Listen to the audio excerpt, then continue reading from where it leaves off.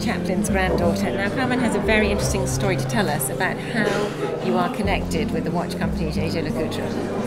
Well, um, my um, grandfather was given a watch when he was basically kicked out of the United States and moved to Switzerland. He gave it to my father when he was a teenager, and my father then gave it to my mother when they got married. And um, I'd done a few things with uh, Jaeger LeCoultre, and then when they knew that I had this watch, they said that they thought it was a great idea to do for their anniversary to do a, a film.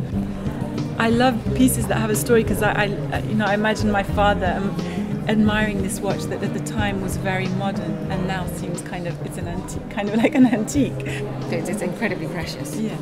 Yeah, fantastic. Well, it's a really beautiful story. Thank you. Thank you. Thank you for sharing with us, Carmen. Thank you.